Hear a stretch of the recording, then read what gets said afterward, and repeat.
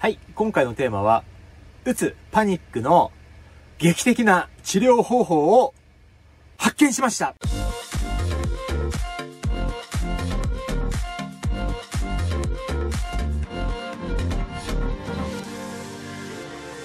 このチャンネルで、えー、僕が、えー、パニック障害になった話を、まあ、定期的にしてるんですけど、意外と、えー、需要があるので、今日もちょっと、えー、お話ししたいと思います。で、えー、まあ、今まで10本ぐらい、このパニック障害うつ、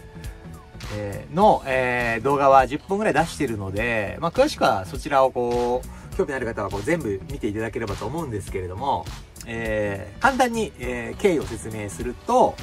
えー、今4月なんで、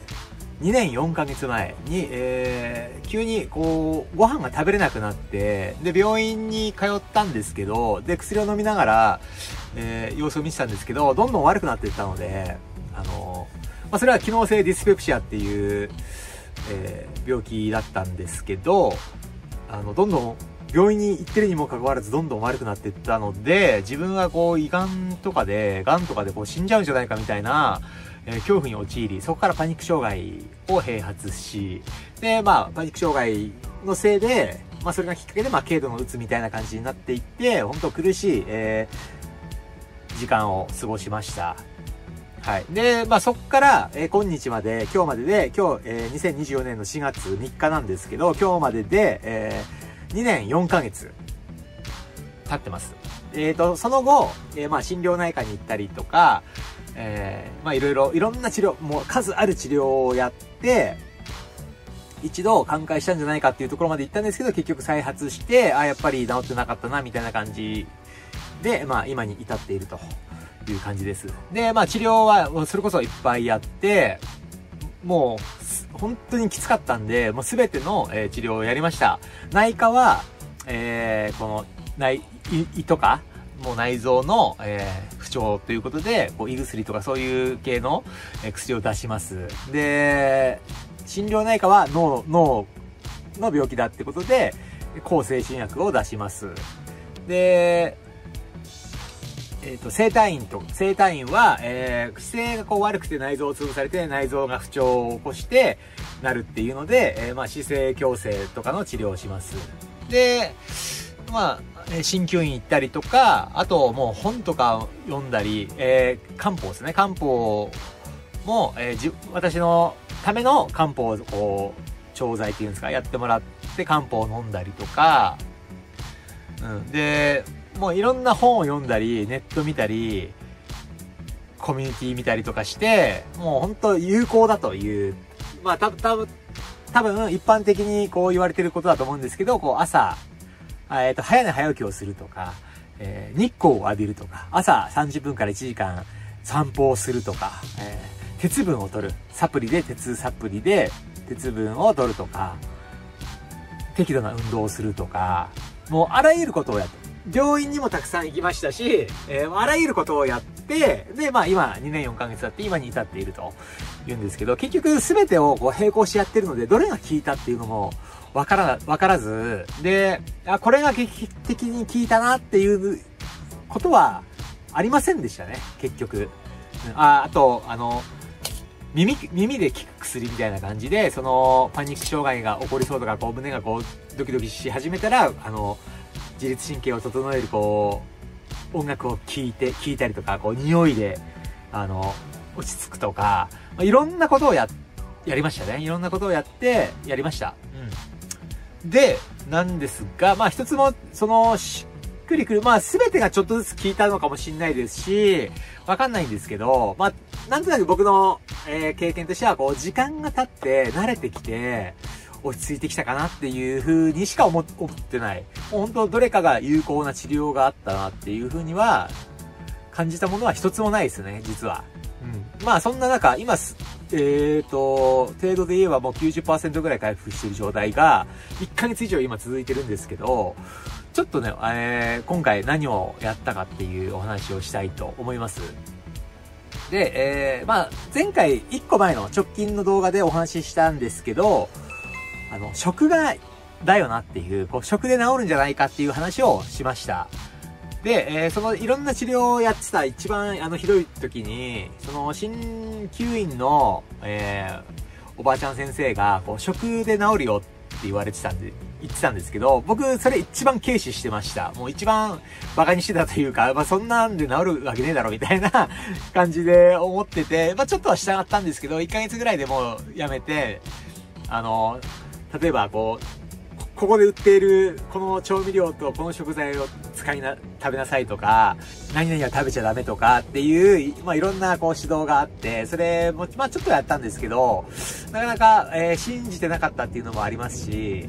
あの、すぐやめたんですよね。なんですが、実はそれが今、いろんな治療をして、今一番、それが正しかったんではないかっていうふうに思っています。で、それはなぜかといえば、えー、不調が起こった時に、断食をすると、治るんですよね。あの、なんかで見たんですよね。なんかあの SNS で、その、うつパニックとかでこう悩んでる人のなんかを見た時に、断食で大体こう、神経系の、病気は治るみたいなのが書いてあって、やってみたら、本当に良かったんですよね。要は、あの、まあ、打つパニックでこう、落ち込みの波が、あ、来たなと思ったら、もう食べないんですよ。2、3日食べない。で、あの、栄養素は取るので、あの、その断食用のスムージーっていうのはあるんですけど、それだけ1日3食飲むだけで、2、3日断食をすると、悪くならないんですよね。そっから、とどまって、こう回復していくっていうのが2、3回続きました。これは、えー、本当に有効なので、ぜひ皆さんにもお勧めしたいです。こう調子を崩したら断食をする。2、3日断食をする。これで、僕はもう今のところ100%の確率でそれで治ってるので、調子悪くなったら断食すればいいやっていう感覚です。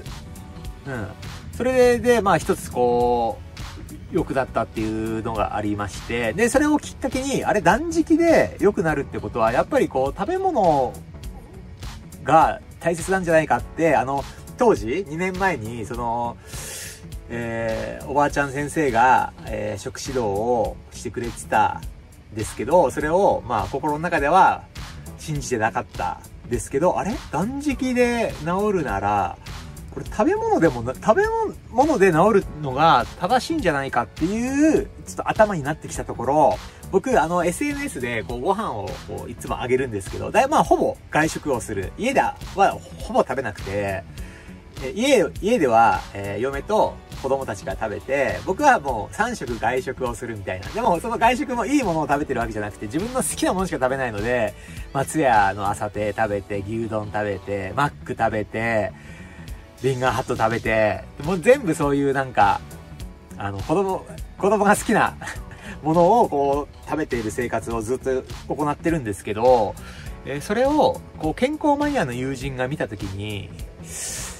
えー、アドバイスをもらって、ちょいちょいもらってたんですよ。あのーご飯が偏ってるから健康に悪いみたいなこと言われてたんですけど、結局食べ物であの健康不健康が決まるっていうのを僕は一切こう頭にないので、ああ、そうなんですかみたいな感じであの流してたんですよね。まあ、そんな中、あれ？こう食べ物で健康、不健康があのー、決まってるじゃないかっていう頭になったら、その人に、の話に興味を持って、で、その人と、あの、ご飯を一緒に食べに行った時に、まあ、自分から振ってみたんですよ。あのーやっぱ僕偏ってますかねみたいな話をしたところ、あの、SNS でいつも食べてるのを見たところ、やっぱりものすごい偏ってるから、あの、足りない栄養素をサプリで補ってみてはいかがですか？って言われて、で、その人は、その、健康コーディネーターみたいな感じで、僕の食生活だったら、これを、このサプリを取ればいいっていうアドバイスをもらって、それが、えー、とですね、スーパーマルチビタミンミネラル。っていうこのサプリと、あと僕、本当肉しか食べないので、まあ、魚一切食べないので、えスーパーフィッシュオイルっていうサプリ、この2つ。僕の場合は、これとこれを取ればいいと。で、あと、えー、足りない分が、もうなんだか忘れたんですけど、足りない分は1日1個、え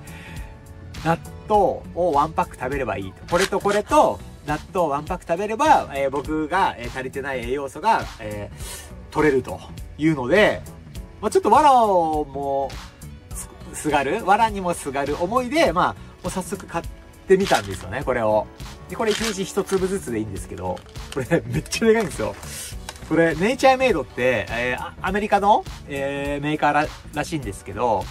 えー、この、やっぱサプリはアメリカが発祥なんで、ネイチャーメイドのが一番おすすめだとっていうので、まあ、いろいろ、いろんなメーカーがね、このスーパーマルチビタミンとかっていうサプリは出してるんですけど、まあ、ネイチャーメイドが良さそうですよっていうので、まあ、この二つを話して、これがね、めっちゃでかいんですよ、これ。こんなでかい、これ。これ、喉、飲めないですよ、これ。飲めなくて。まあ、今、切って、半分に割って、あの、100均で薬カッターっていうのがあるので、それで、これもめちゃくちゃでかい。あの、半分にして飲んでるんですけど、もう最初の頃このまま飲んでたらもう喉傷ついちゃって痛くて痛くて、もうとにかくでかい。で、まあこれを、まあ、ちょっと騙されたつもりでやってみようっていうので、これで、え、やり始めました。これとこれと納豆1パック。で、あと、まあ、意識した時でいいので、その野菜をいっぱい食べるようにと。もう野菜も一切僕食べなかったんで、野菜をいっぱい食べるようにっていうので、えー、生活しました。で、それが、えー、っとですね、こう、ちょっと今、この、手帳に全部つけてるんですけど、えサプリ、え、飲み始めたのが、え2月の21日からですね。うん。で、今が4月3日なので、まあ1ヶ月半経ってます。で、この1ヶ月半、実は絶好調なんですよね。絶好調。で、こう、やっぱ体調良くてもすぐ、えっ、ー、と、悪くななって、まあ、悪くなっても3日4日で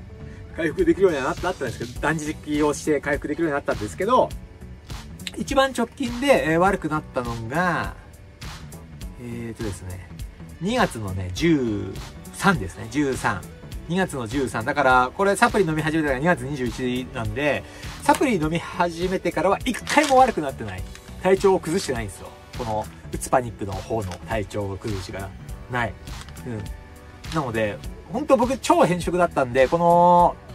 サプリによって、体に必要な栄養素を取ることによって、えー、良くなってるような気がします。この断食の件と合わせて、やっぱ、こう食でいけるんじゃないかなって。食が一番の、あの、健康治療法なんじゃないかなっていうふうには、今は、ものすごい感じてます。はい。というわけで、えー、今のところ1ヶ月半、サプリ飲み始めてから1ヶ月半は体調を崩してなくて絶好調なんですよね。絶好調。もう、ま、治ったじゃないかって思うぐらい絶好調です。これはね、この数多く、ほんと何十種類っていう治療法をやってきた中で、僕の中では一番しっくりきてますね。まあ、サプリじゃなくてもいいんですよ。あのー、食事で取れる人、栄養素を取れる人であれば、食事で栄養素を取ればいいだけの話なので、僕はその、あのー、外食ばっかりなので、あ、もちろん、あの、そう、あのー、変えてないんですよ。食生活を変えてない。食生活は変えずに、あのー、好きなものだけ食べてるんですけど、未だに。これで栄養素を補うことによって体調を崩すことがほとんどなくなったっていう話です。まあ、たまたまかもしんない。あのー、もう2年4ヶ月経ってるんで、この経年、経年で、まあ、体調が戻ってきてるだけなのかもしれないんですけど、一応今のところ自分の中では、この、調子を崩したら断食をする。で、日々は、えー、栄養素をサプリで補給する。で、野菜をなるべく多く食べるようにする。っていうところで、えー、まあ、絶好調を、えー、になっています。ぜひ、えー、お試しください。